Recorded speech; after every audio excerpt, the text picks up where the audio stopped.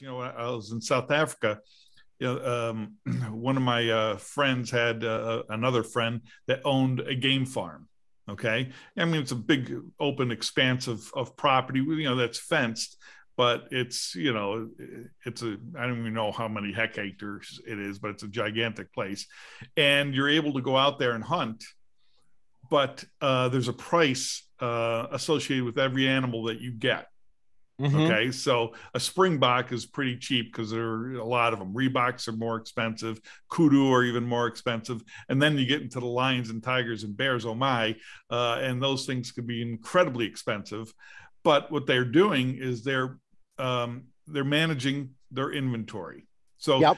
you know, people are worried about you know animals being hunted to extinction. On these game farms, you have to understand that they don't want their animals to become extinct because you know you're actually paying you know you might pay fifty thousand dollars to to get a lion okay? Yeah. Um and uh you know that goes to um, growing other lions, you know what I mean, for the future. So, uh, you know, these animals are much better uh, managed uh, for posterity on the game farms than they are uh, otherwise.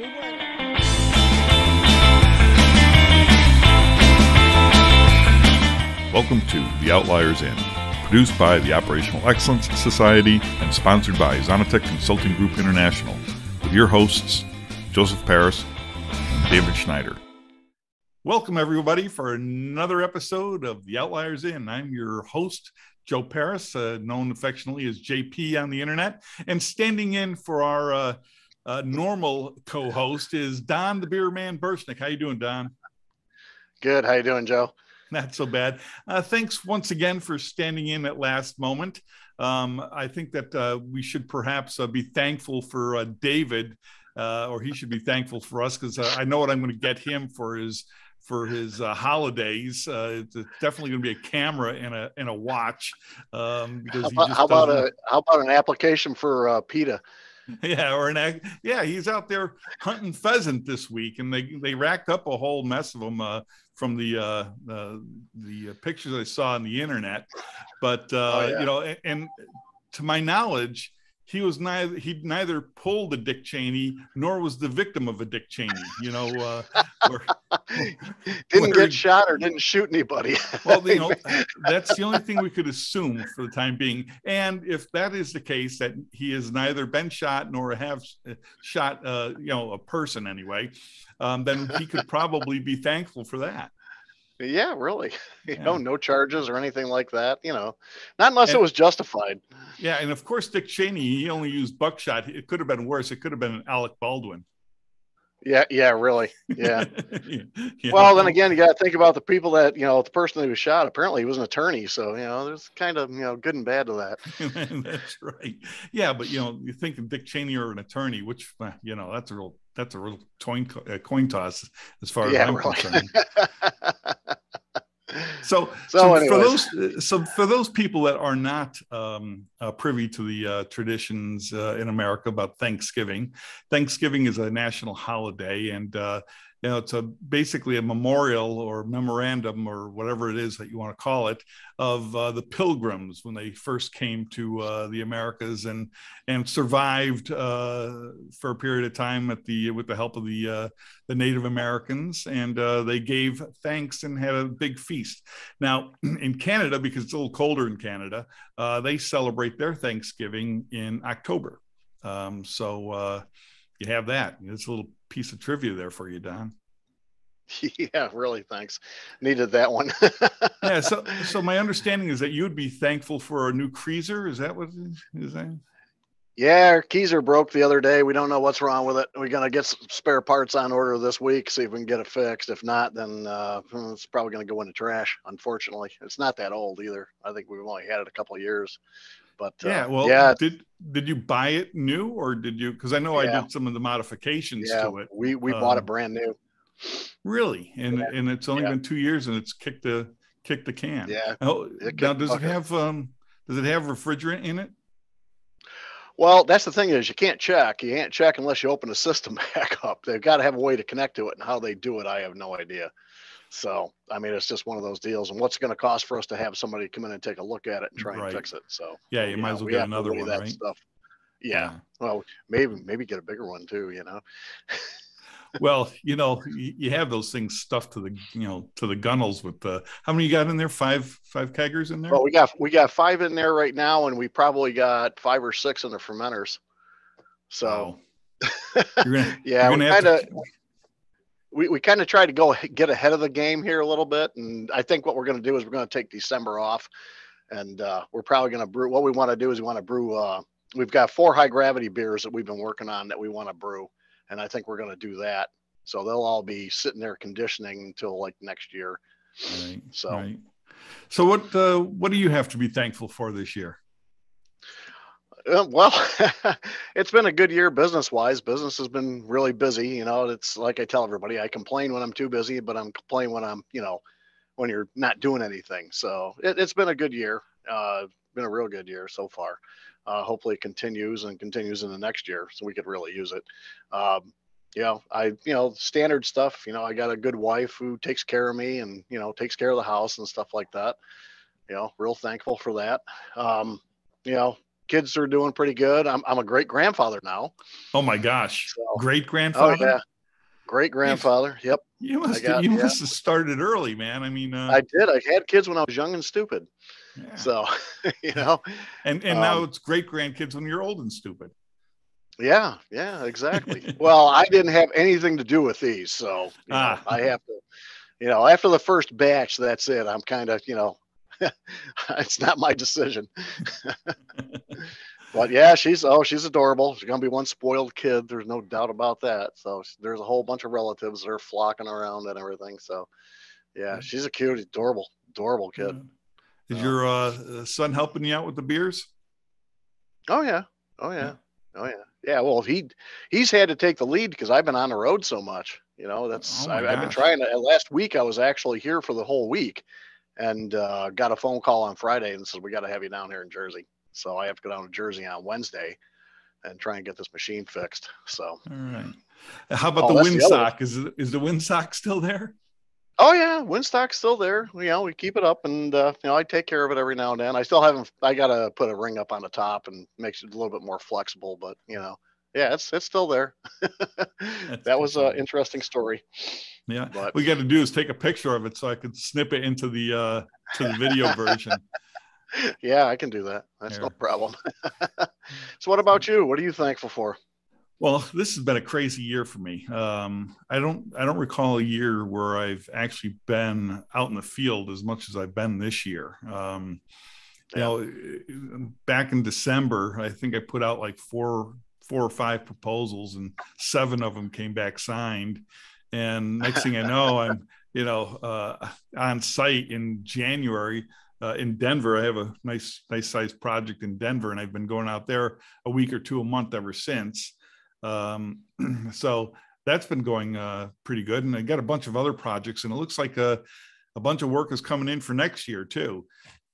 You'll probably find me in uh, in Houston and in South Africa and uh, and points beyond. So uh, Oh, going back, know- going back to your old stomping grounds down in South Africa. you know, huh? I, I got to tell you, it was funny when I I had the call with them uh, two weeks ago, and uh, the introductory call, and you know, I'm thankful for my book. My book has made a lot of traction, and uh, uh, actually, both of these projects be, uh, came around because of it and because of my other writings. But it was funny because when I was having the call with the uh, team in South Africa, I actually didn't know that they're from South Africa. Okay, you know, I usually I- usually look at where the people are from and what company. I knew the company, but I didn't know where where they were located. So I happened to be wearing my Springbok uh, jersey. You know, my uh, Springboks is the uh, South African national rugby team. Okay, so I happen to be wearing this, you know, this Springbok uh, rugby jersey because it's a heavy jersey and it's getting kind of cold up here in Frankfurt. Um, and so next thing I know, they're you know they're on the line and they see the jersey and um, you know there's some you know pretty fun banter uh, as a result of that. But uh, you know it's it's been a good year, so I'm you know so far knock on some wood. I'm you know good health. I never had you know COVID. Knock on some more wood. Um, you know just you know things have been been grooving. The family's good, so you know what what can I say? I mean, uh, uh, yeah. certainly could be a lot worse than it is. So uh, oh yeah, I'm thankful that it's not. That. My parents are doing yeah. well. They don't never change. So uh, yeah, it's yeah. You got to have more hotel stays than I've got. I'm I racked. Dude. I checked the other day. I'm like over ninety this year. oh yeah, I'm, I'm well over that. I, uh, I, I stay at the Embassy Suites in Denver uh, when I'm there, um, and it's really uh, kind of cool uh, because you know they.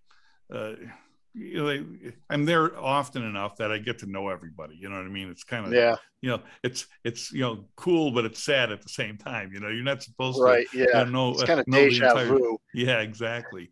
Um, but uh, I, and I, I can't really share this, but uh, when I was uh, leaving last uh, last time, I decided to stay at the Westin uh, instead of the off airport hotel. The Westin is right at the hotel, and right. um, you know you're, you know, you're I, I I'm staying there because it wasn't ridiculously expensive. It was just expensive. Uh, the off hotel uh, or off airport uh, hotel is about 170 bucks. This was like 350. But you know, I was just tired, and I just felt like you know, rolling out of bed, going downstairs, and being at the airport, and just like going. Um, yeah. So after dinner, you know, I'm sitting at the uh, pub in the lobby as I'm apt to do. Uh, from time to time. And uh, I, you know, I'm sitting there by myself, and there's another guy there, uh, and I introduce myself so we can start talking because you know if you're drinking alone you have a problem, but if you're drinking with somebody you don't have a problem. So so I'm sitting there uh, uh, having a couple of cocktails with him, and he starts telling me what he does, and um, I go upstairs and I grab a copy of my book because he's in leadership consulting. I grab a copy of my book and I sign it over to him, and I'm not going to tell you who it was uh, on the podcast, but it was a pretty significant um, uh, introduction. And I have a call with him uh, the Tuesday before Thanksgiving, right before the uh, the meeting that shall remain nameless, because I'll be back uh, this Friday, and I hope to catch you guys. But yeah, uh, it was it was a pretty serendipitous, uh, if that's a word, uh, uh, meeting. So we have a, a guest here today, um, Stefan, a regular, uh, irregular, regular, as, as the case might be. How you doing there, Stefan? I, I am fine. What about you? We're good. Yeah, yeah, none the worse for the wear.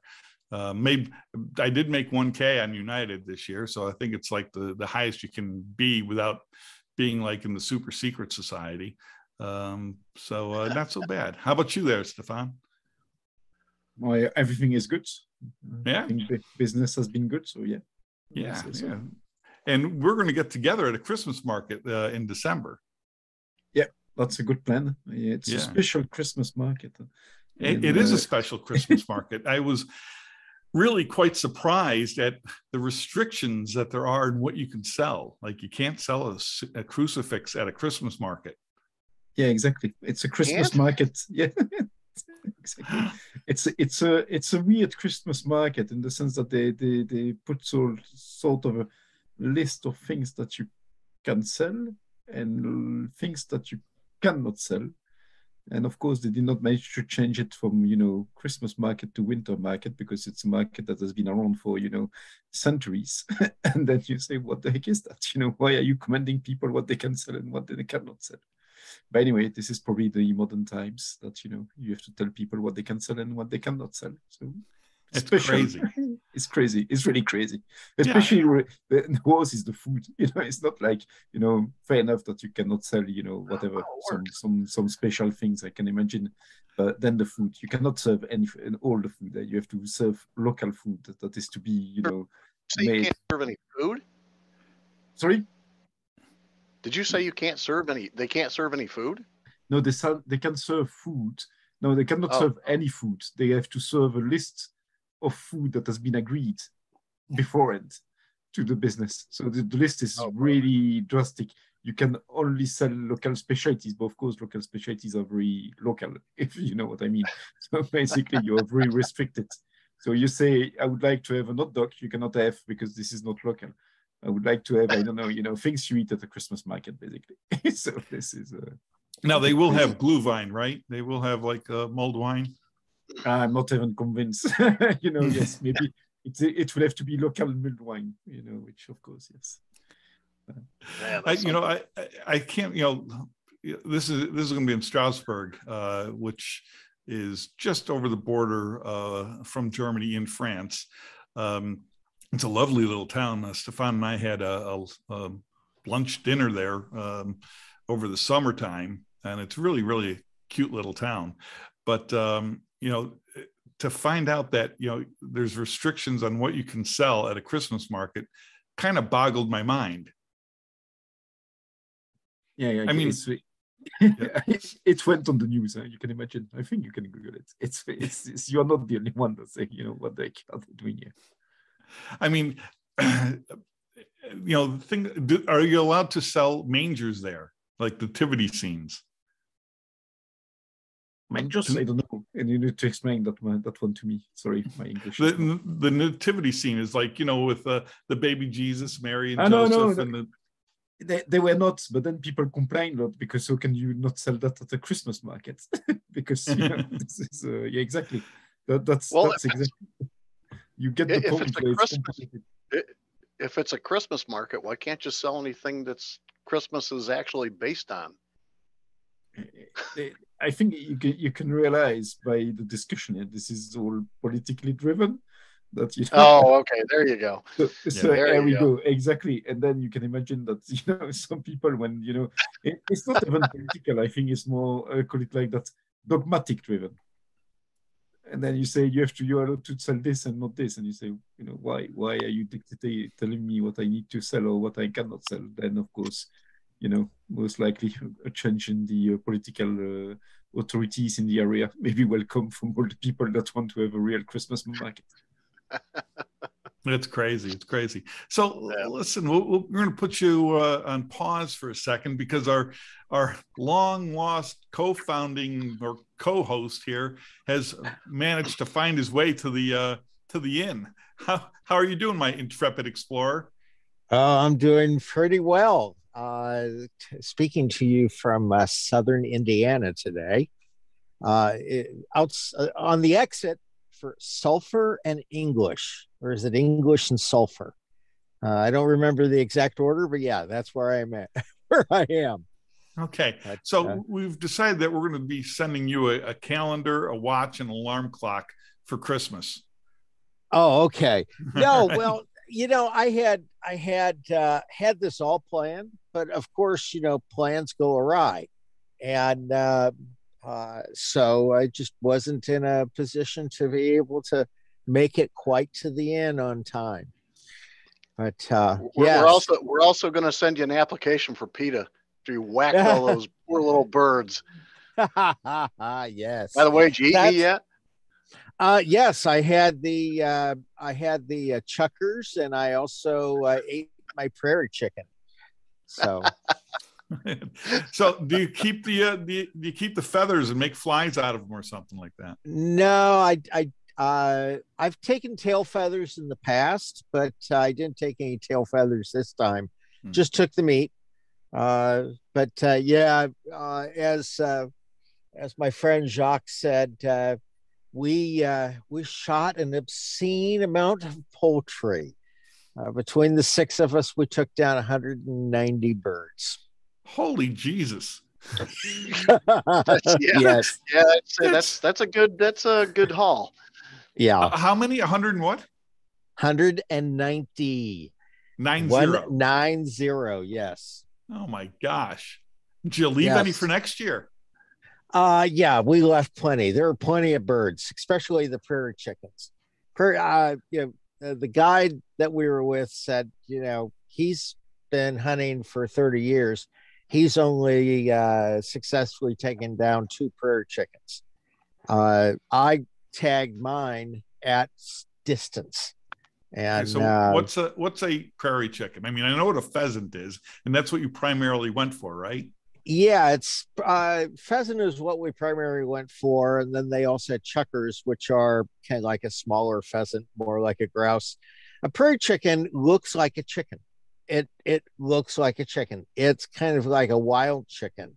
Uh, they are uh, colored. Both the ma- male and female prairie chickens are colored like um, hen pheasants, and they're about the same size as hen pheasants. And so it's easy to mistake. But uh, yeah, you have to have a stamp because it's a it's part of the federal uh, bird program. And so uh, yeah, I had my I had to go buy my stamp because I shot the damn bird. Uh, but uh, yeah, so that's that that was the that was the reward for uh, you know shooting this very difficult to shoot bird uh, was oh yeah I had to buy a stamp for it. For it. And the best part but, was you did it by accident. Yeah, yeah. No so, skill involved. I love it. Uh, well, no, I, I, it from the my angle and shot, I thought it was a, uh, a, a you know, a, a hen pheasant, and so I took down a hen pheasant until the dog brought the brought the bird back, and he went, "No, that's a prairie chicken." So, so Don and I were musing at the beginning here whether or not uh, uh, you or any of your party uh, pulled a Dick Cheney or not. No, no, Dick Cheney. We uh, we're known as a very safe crew. Uh, also, you know, there's there's members of the crew that are competitive, and so we I kind of let those two competitive guys go be competitive with each other. Uh, in the past, what they've done is to split the competitive guys up, and those guys are still competitive, and then you know they're shooting a third of the birds. So we put those two always together on the same team. And then the rest of us get to enjoy that a hunt where we don't have to be quick draw McGraw right. uh, because you don't need to be. You don't need to be, and you don't need to shoot the bird three times, which these guys Man, will do. Why would you want to? I mean, that's just that much more lead you have to pick out of the. the I know, the I know. Wow, it's really good. It's... Unless, of course, you're so good that it, it, when it falls out of the sky, it's already cleaned. Yeah, no, right. there's none of there's none of that going on. But uh, you know, I'm I let the birds get out there a little bit, and then I shoot them. I'm good at at distance lead shots, and that's because I I do put practice loud golf. I'll go out and shoot trap, and, uh, you know, trap is like golf. You go from station to station and you have different shots that you have to do. It's like playing 18 holes. Where I go shoot trap, there's 18 stations. And so I call it loud golf. And so I'm, I'm pretty good at leading the birds, but I'm not good at close range. I'm good at, at distance shots. And there's a couple of these guys that, you know, they have three shots in this semi automatic shotgun I go out with an old fashioned over and under break gun. I have two shots. And so what, what do you shoot? 12 gauge. 12 yeah, 12 gauge. Yeah, but who makes it? Uh, the gun that I took out this trip is a CZ. So CZ. it's a Turkish tur- Turkish made CZ, the letter C, the letter yeah. Z. And uh, really not very nice over and under uh the, it's called the Drake model and it's made it's upland shooting gun it's it's made for uh, pheasant hunting yeah i and, used to shoot a, a, browning Citori when i was yeah. back in the states i loved it yeah so uh but yeah it's it's it's fun being out there in the middle of kansas and i got done with that and then i had to go make the road trip to utah and uh go Go right, because it's on the way. Utah's right on the way from Kansas to uh, Alexandria. Right, right, right. You know, but no, schedule wise, it this my schedule got messed up again by some other folks, and it's like, okay, this is when we'll be able to launch this part of the software. Okay, that's fine. I'll be there then. So I got done with hunting, and it was like there was no way I could get home and then fly to Utah in time. So it was right. like, okay, it'll take me two days to drive. I'll drive it. Mm, and I visited on the way out and I visited on the way back. So okay. that's one of the so, things I'm thankful of, of is I got to visit a lot of people on this trip at opportune time. So, you know, my friendships and being able to see people, I'm very thankful for this year. Very good. Very good. Because I was just going to ask you, what are you thankful for? And it seems like this is uh, right up your alley. How long were you gone on the road?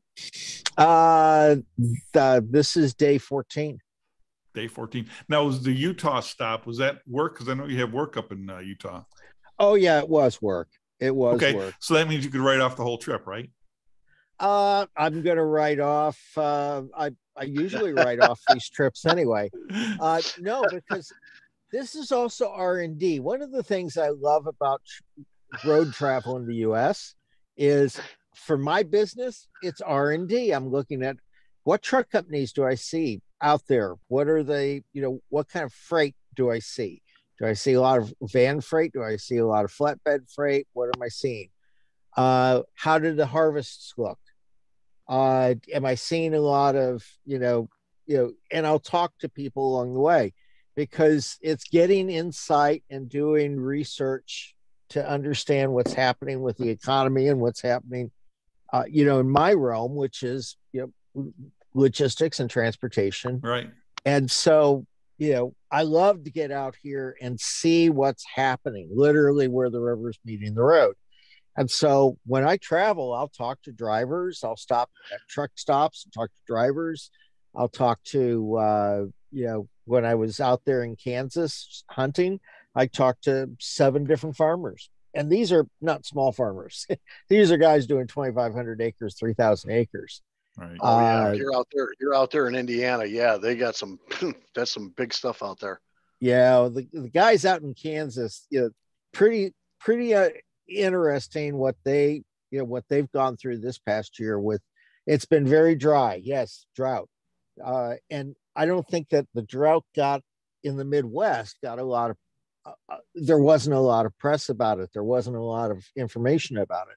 But uh, there in Kansas, they're uh, they were like 14, 15 days below normal on rain. And so when you're walking out in the fields, you can see how the soil's cracked, which is unusual for this time of year. You usually don't see yeah. big cracks in the soil.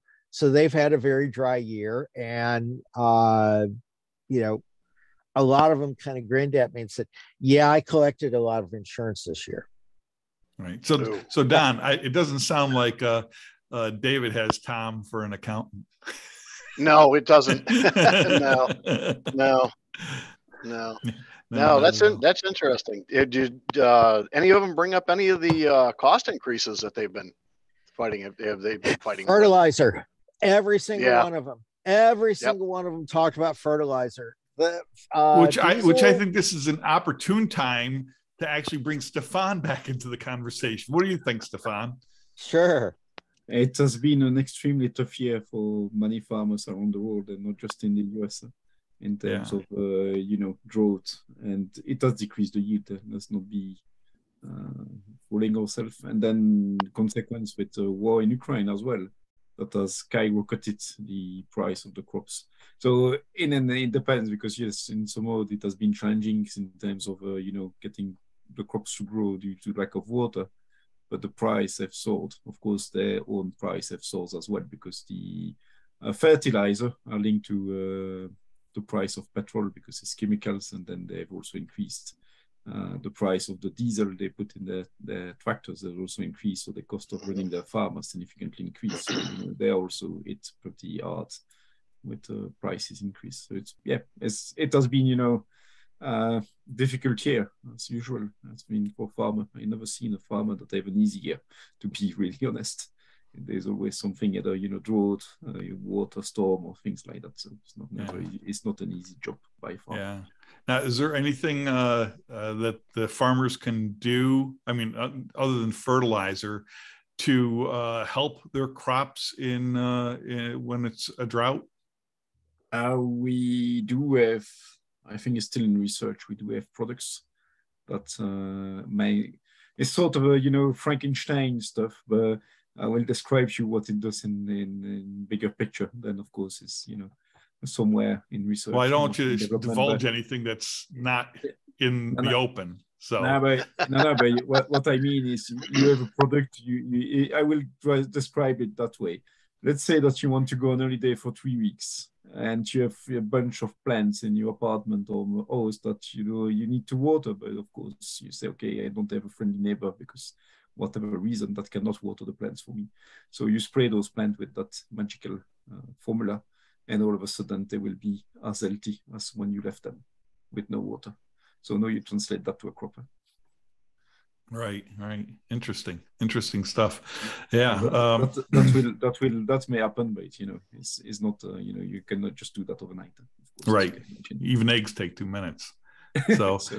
right. So, so David, um, you you said something about the soil being cracked. I mean, I'm I'm thinking about like uh, you see it after the desert, after there's been a flood, and then the desert dries up, and the uh, and the uh, the soil sort of like uh, curls and and and has fissures. Is that what you're describing? Yeah, it literally shrinks. Is yeah. is what happens, and it shrinks and and it creates these fissures, and you'll always see some surface cracking. You know, it gets really muddy, and you know, a mud puddle dries up, and that those top layers crack and curl but it doesn't the fissures don't go very deep in that right. mud puddle but right. you know i'm walking fields that were planted with milo or planted with um, uh, hay and i'm looking down and i'm seeing cracks going into the soil that are maybe four or five inches deep and so the soil the, these top layers of the soil had given up so much moisture that they had shrunken and cracked and, and opened up. So uh, the the family that that that farms the land where we were doing the hunting, uh, their uh, milo crop was pretty, you know, was was worthless as far as a crop was concerned. Um, but their hay was fine, and a big chunk of what they do is cattle and so uh, they do a lot of a lot of cattle. They do a, a grow feed for the cattle. That's what the mm-hmm. Milo is for. Um, but you know, f- farmers there in central Kansas, they they have multiple businesses, and so every single one of the uh, adults in that family, there's there's two generations. They're all school teachers, and so they teach school um, right. So they have that steady income, and then they do this um, what's called controlled shooting. Uh, so they uh, they have a, a, part of their family that grows the the birds, grows the uh, pheasant, and then they release the pheasant, and then have people come out who pay to go hunt the property. Ah, so, so, now it's now it's all coming clear. Okay, so these are um, this is inventory control. They grow quote unquote grow pheasant and then release it and then um, uh, allow people to hunt on their property for a fee to get the pheasant. Is that what I'm Correct. hearing? Correct. Correct. Okay. All right, and you're able to to hunt their property at t- periods that are outside normal season. So pheasant actual pheasant season in Kansas didn't start until this past just this past weekend, yesterday or the, yeah. this past Saturday. And we were hunting a week before season started. And I know that we got some wild pheasant, but we got mostly, you know, uh, grown okay. pheasant that makes that makes more sense because I was thinking, Jesus, if you guys got 190, and I'm thinking, you know, how many of these birds can there be? But now now it's making more sense. You know, I was in South Africa. You know, um, one of my uh, friends had uh, another friend that owned a game farm. Okay, I mean it's a big open expanse of of property. You know that's fenced, but it's you know it's a i don't even know how many hectares it is but it's a gigantic place. And you're able to go out there and hunt but uh, there's a price uh, associated with every animal that you get. Mm-hmm. okay so a springbok is pretty cheap because there are a lot of them rheboks are more expensive kudu are even more expensive and then you get into the lions and tigers and bears oh my uh, and those things can be incredibly expensive. But what they're doing is they're um, they're managing their inventory. So yep. you know, people are worried about you know animals being hunted to extinction. on these game farms, you have to understand that they don't want their animals to become extinct because you know you're actually paying you know you might pay fifty thousand dollars to to get a lion okay Yeah. um and uh you know that goes to um growing other lions you know what i mean for the future so uh, you know these animals are much better uh, managed uh, for posterity on the game farms than they are uh, uh otherwise But we went Yeah, and visited. We went and visited where the birds, where they where the birds get grown by the cousins, Right. and uh, these pens. These are are pen raised birds, so they're free flight birds. right They're not they're not in small cages or anything else. These are Right. ginormous pens. And so to give you a sense, they have six of these pens that are um, about 75 yards wide and 150 yards long and, and how and how high 35, 40 feet high. yeah And so, you know, pheasant don't fly real super high. They shoot Right. up about 15, 20 feet and then they fly and glide for about a quarter mile. right And so, but we went, walked into these pens. There's 10,000 birds in these pens. And this, this, this raising operation doesn't just feed the, the seafers, they feed many other controlled shooting uh, operations there in central Kansas. It is, it is a multi-million dollar business right and probably but it's it's designed to be sustainable though Absolutely. yeah Absolutely, it is. And so they grow Milo to feed the birds. That's one of the things that they do. They grow the feed for the birds. Uh, they, you know, they don't buy birds. Uh, Right. The, a lot of the birds are, you know, there's eggs, and so they go out and collect the eggs every day in the in the pens, and they Right. incubate the birds. It is very, you know, very sustained operation, and you know, considering that, all right, it cost me eight hundred dollars to you know for the hunt itself, and, and that included the lodging. So the, you know, and you're there not- for a week right no, I was there for two days. It was two Oh, days two of days. hunting, okay two days of hunting, and in two days of hunting, I walked away with thirty pounds, thirty-five pounds of poultry. And good times and you didn't poultry. shoot anybody and good times, and nobody got shot. Yeah, right now you- i So would assume raised- that alec Bald, alec baldwin wasn't in your party right no, he wasn't there either. okay Now he's So they he's raised all blaming these- the- he's blaming everybody. Anyway, So they raise all these birds so you just so you can go out and whack them that's right. for That's sport. right.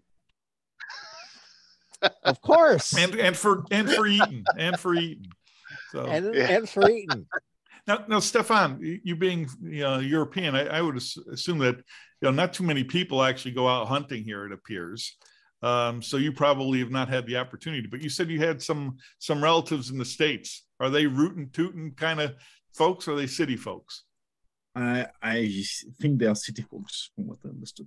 I haven't seen them for a while because you know traveled, traveling across was not easy, but there are city folks. I'm confirming this one. So yes, I don't think they're hunting. so why don't we have a speed round here and uh, and wrap it up? All right. So uh, Don, we're going to start with you as far as uh, what are you thankful most thankful for? Period this year, personal, uh, and you know like that happened to you, and then if you want to give kudos to anybody like your wife, you can do that too. But what's the one thing that you're What's the one thing that you're thankful for for yourself? Well, right now, like I say, it's just you know we've been busy, and I'm you know thankful for that. We've had a couple down years, and it you know took its toll on us, and you know now things are coming back around, and I'm thankful we've had a real good uh, had a real good year. You know, we've picked up some more customers and stuff, so we we're doing pretty good. So, You know, the beer brewing has been going real well. We made some modifications to some of the stuff that we've done. You know, uh, made some adjustments to water chemistry and little bit to the processes and stuff. So we, you know, coming along pretty good there. So everything looks good as far as I'm goes. And I got to give kudos to the wife once again because, like I say, she, you know, she takes care of me and keeps me grounded a bit. You know, as much as she can. yeah. All right. Excellent. How about uh, you, David? What are you most thankful for? Well, you know, it's it's been a fantastic year business wise, and you know I'm thankful for that. But I'm also thankful. You know, my family's had very good health. You know, my daughters are doing well in school, and and they're happy. I, you know, even after all the the craziness with COVID and all that, they, you know, are uh, are regaining that their uh, uh, their their footing very well and then um, you know the the ability to play play with the robotics team and work with the robotics team because it's just so much fun to do that. And i'm really looking forward to uh, this next season um, because it's this will be the eighth year that i've been doing this now and uh, uh, the it will be the fourth year doing it without a kid you know my own kid involved in the program. And uh, it's still just so much freaking fun to be able to you know work with the kids and get my hands on the robot all right stephane how about you i am very grateful that we have sort of a normal back a normal life it's looked like covid has been you know the big wave of covid are sort of finished for this year hopefully.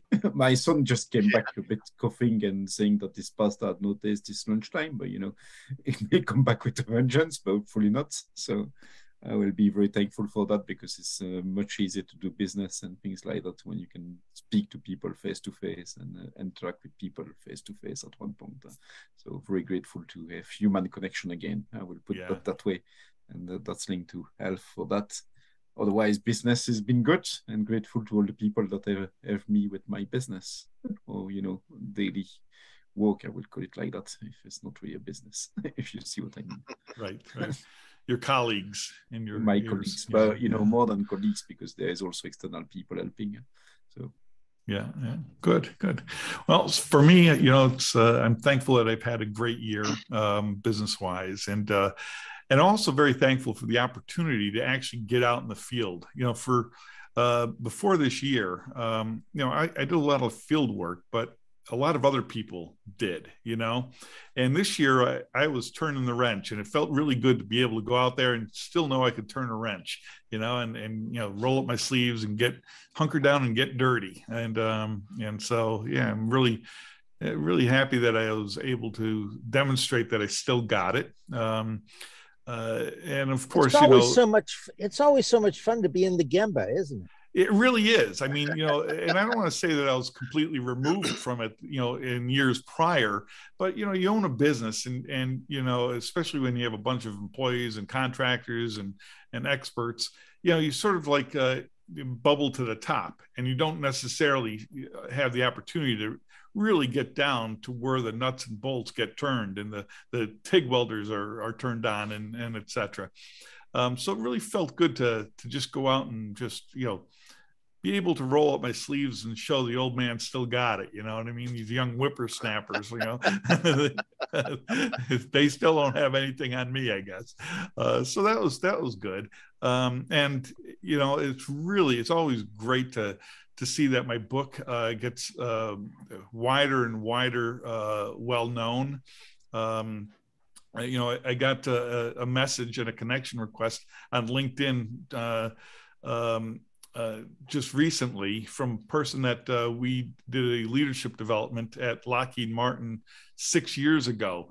And you know how uh, and he's just now getting connected with me because he's changing jobs and he's read my bu- book back to back and like he was just fawning over it and and and you know sharing how uh how exquisite it was. So you know it's good to hear that um, you know these things have a, a long tail as you know so and you know the two boys my two boys are gainfully employed everybody's healthy so you know what um, I'll, I'll just ride this way for a while and thankful to do that yeah, that was a good one. so, yeah. yeah. at least business has been good for everybody this year. Yeah, really glad to hear good. that. So, so well, uh, I guess uh, we've uh, reached another end of our our session there, Don and uh, David. And you know, unfortunately, David, you're the call in this time, so I'm going to have to defer to uh, my co-host here for the uh yeah, well, for the don't drive like either of my brothers. Come on. yeah, and don't, and Just don't don't drive like either of my brothers. yeah, and don't drive like my brother. Yeah, and don't drive like my brother. And just make sure that you bring your phone along with you next time. Yeah. Oh, you yeah. just got it. Yeah. I, that's, right, that's everybody. what I'm on. Okay. We'll, Take care, we'll see you later. Have a great night. Cheers. Happy All right. Thanksgiving. Have a good day. Bye.